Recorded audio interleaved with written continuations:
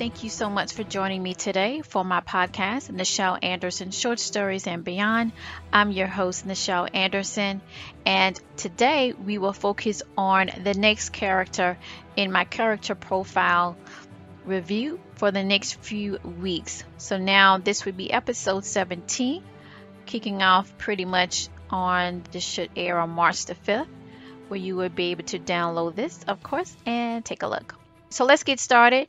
If you want to become a patron, please consider that. You will see a link at the bottom in this description for you to be able to click on. You can go to patreon.com. You can also go through my other podcast, Surviving Your Journey to Success, where I do have now my short stories linked through that. You would just pay for the premium. It is a monthly subscription after your trial. Um, you do have a trial that you can test it for free for seven days. We have access to these short stories content, and then hopefully you will go ahead, stick around, and become a patron and continue to get this premium content. Well, let's get started for this particular uh, episode. We're talking about Nontu. All right, so Nontu came on the scene, the very first scene that really propelled me to consider I need to do another podcast. As I mentioned, my other podcast is Surviving Your Journey to a Success that deals with modern day topics.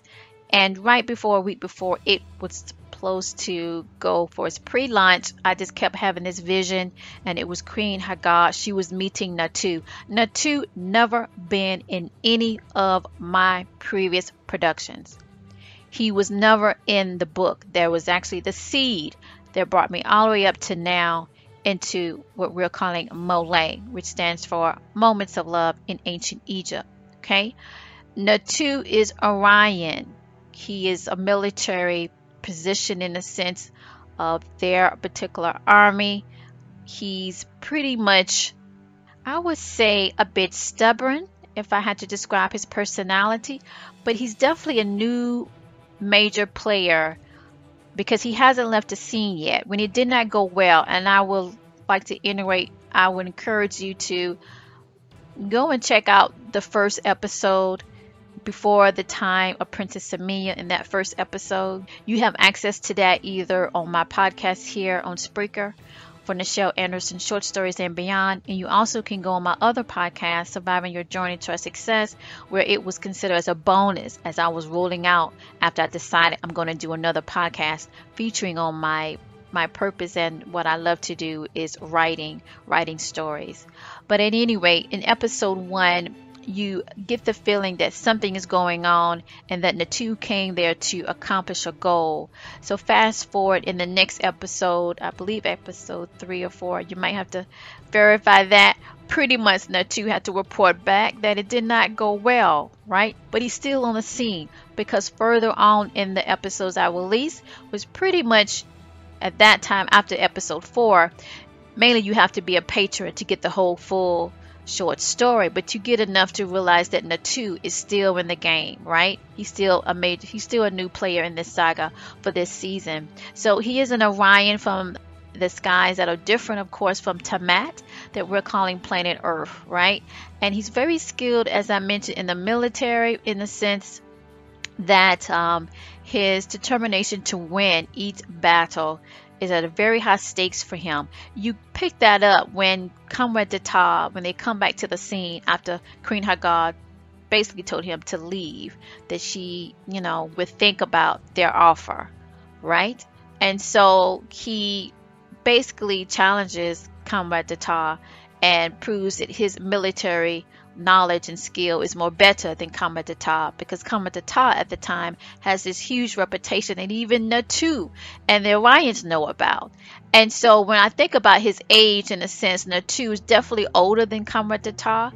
And um, Nontu is pretty much, I would say, the same age as Comrade, I'm sorry, the same age as King Milan, you know, in his young, I would say mid 30s if I had to say it, a bit mid 30s to late 30s, right? And so anyway, he's he seemed not to be trusted amongst the high council members of the Orions. You could tell that when he came and had to tell them in the cave, and Lanko just was went ballistic when they were they were learning that what Nontu said earlier that King Milan is alive, that um, he's just somewhere, and that he did not go move forward into their plan, whatever that is. Because right now we don't really know the specifics of that in these short stories. In this in these moments of time here uh, before the time of Princess Amina, but we know it's something major because they have to re strategize and to find out how they can stay in the game of influence to be able to overrank Mitsrayim, which Mitsrayim is being controlled by King Milan, right? Now, of course, King Milan at this time is not really in the throne sense giving directives. It is Queen Hagar as King Milan nurturing his runes, which we're learning piece by piece. It was a war, a major battle, and um, and so he's recuperating from that, but is on the low key of his status. So with Nontu, he's pretty much middle height, very physical fit. When I see him, I mean he is very physical fit. He has this long chin that keeps that keeps I wouldn't say um, the first thing that you see, but it's very particular when I look at his face. Now, his scars are not shown compared to Ecko. When Ecko turns his face, bam, I saw it. But when Nontu, I don't see any scars on his face. I think if you look at his eyes, you could tell that he's been through a lot of battles and he's very particular about winning by any cost. As you see later on in the episode, uh, in the episodes that were released, that I do show that he went to a special assignment to another tribe to a tribal leader that is on their side and he see that he might be still in the game when something happens in his favor they found someone and with that it can connect him to what they seek which is pretty much Mitch Mitsrayim. And so, anyway, his scars are not easily shown when I'm writing him. Um, I think, bec- well, I know it's because scars are hidden by the garment that he's that he wears. So when I'm writing him in my mind, he wear a lot of fabric that covers his body in a sense, his arms, his chest, his legs, and so forth. You don't really see too much of his skin, only some small, maybe parts of his neck, and of course his face, and then his hands. Dark colors, wouldn't say gray, but of course like black, maybe off gray, just dark colors, maybe a hint of dark brown mix in there. So he wear those fabric and the fabric when I see him and he's talking, he's walking, it's kind of rugged cut, almost like it's fabric that was like basically sewed on him instead of him actually putting it on. That's what comes through when I when I'm writing about Nontu. So Nontu is someone to look for because I haven't decided or picked up that he will come be on the stage of the Prestige return of Monet stage play. I'm not sure that he will return back in season two of this podcast, but he definitely seems to be a key player because Queen Hagar knows him. So does Milan. So I'm really interested to find out how did this all came about. When did all did this happen? Now he was not approved to come back to when Mitsrayim final say. He wasn't present. He was busy on the other side of the Sudan, which we're calling Africa, the Sudan, dealing with or talking with that with that tribal leader. Okay, so pretty much that's it that I want to kind of give you some background on Nontu He was never in my books or any productions, and is to to decide if he will be on the stage when we return. I still can't connect him to, to, to Kishi, which Kishi was from the book. He was in the websodes. It was Kishi. He was the man on the scene that was on Kingdom going with that drama, right? When Princess Amina was on the scene as well. But when I talk about Nontu, I feel no connection with him and Kishi, which, like I said, will be in the perceived return of Monet because Kishi was in the book and he's an Orion. So when I think of that whole family and that whole organization or whatever, I guess I wouldn't say all family or people that's considered that I'm calling the Orions, it just feels that Ecko has some ties to Kishi, as I'm saying this right now to you, not Nontu.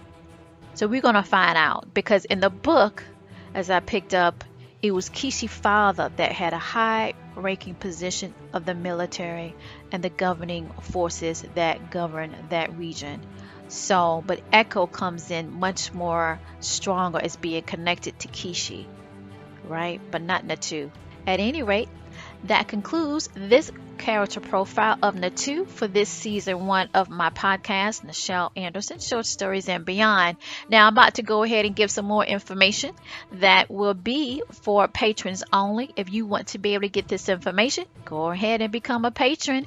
You can do that with a description um, link to my patron page, which is patreon.com forward slash Nichel Anderson and you can also go to my other podcast, Surviving Your Journey Towards Success, where I have the stories available there as premium content. So it's a monthly subscription. You can pick which one that you want to to do. And now there is a trial period, so you could first try that for seven days. It's free to get access for it. It's for seven days, I believe, a couple of days before you actually start the subscription. You can cancel it at any time, and you have access to all of this premium content as well as other things that I will be rolling out that's for patron only. All right, thank you. Patrons only. Let's talk about Nontu. All right, so pretty much what I wanted to share with